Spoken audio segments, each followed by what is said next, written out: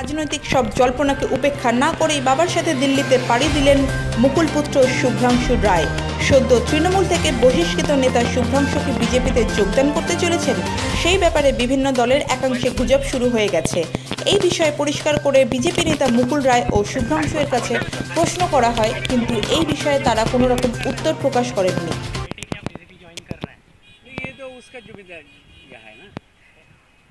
जो बंगाल में अभी हिंसा हो रहा है रिजल्ट के बाद जैसे बीते रात भी हुई है उसे आप किस तरह से देखते हैं नहीं बंगाल में हिंसा भाजपा का स- ये संस्कृति नहीं है ये भाजपा का किधर भी करता नहीं है ये जो होता है तृणमूल का ইনার পার্টি ক্লাস हो रहा है আজকে যারা নবান্নে গেছিলেন তারা কি বলবেন আমি অত্যন্ত রুল আউট করছি এই ঘটনায় এটা ভারতীয় জনতা পার্টির এটা সংস্কৃতি নয় এটা কৃষ্টি নয় এবং আমি কালকে নিজে ব্যারাকপুর লোকসভায় খুব সব জায়গায় ছিলাম স্বাভাবিকভাবে যারা গিয়েছিল খবর নিয়ে দেখুন তারা তাদের নিজের আভ্যন্তরীণ দ্বন্দ্বিক বাইরে আছে কিনা।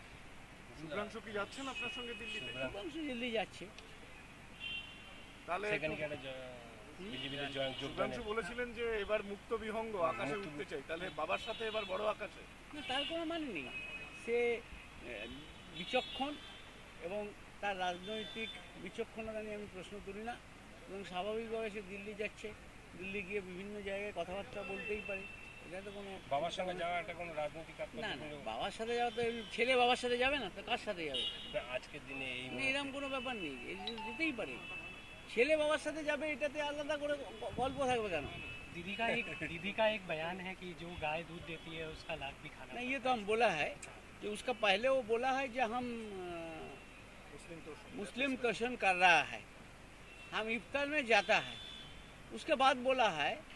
कि जो गाय दूध देता है उसका चाट भी खाता है तो ये वो बोल रहा है जो माइनॉरिटी जो पीपल्स है वो पीपल्स उसका का- गाय का माफी खाए और ये वोट मिलता है इसलिए उसका चाट भी खाने के लिए वो रेडी है মুকুলদা কাচ্চাপাড়া পৌরসভা থেকে কজন জয়েন করার সম্ভাবনা পুরোটাই জয়েন করবে হালিশহর বোর্ড আজকে হালি আপনার শহর, সঙ্গে আবার বলছি শুনুন কাঁচরাপাড়া হালি শহর আদি সপ্তগ্রাম আহ, নৈহাটি ব্যারাকপুর ওদিকে ধরুন আপনি মেখলিগঞ্জ মাথাভাঙা বহু বোর্ড তারা যোগাযোগ করছে এবং বোর্ড কেন? বিধায়করা যোগাযোগ করছে। তো সবে শুরু দমদম।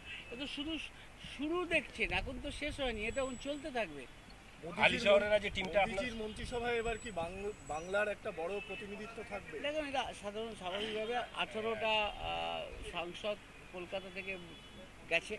তারা বাংলায় মা- মানুষ তাদের পাঠিয়েছে নির্বাচন নির্বাচিত করে তাই স্বাভাবিকভাবে বাংলার মানুষের এক্সপেকটেশন এবং it is the prerogative of the prime minister prime minister ঠিক করবেন। শুভ্রাংশু নাকি আলি শহরের চেয়ারম্যান এবং কাউন্সিলর প্রত্যেককে নিয়ে গেছে। আমি জানি না। এটা ওর নিজের ব্যাপার ও নিজে নিয়ে যায় তো। এই ব্যাপার।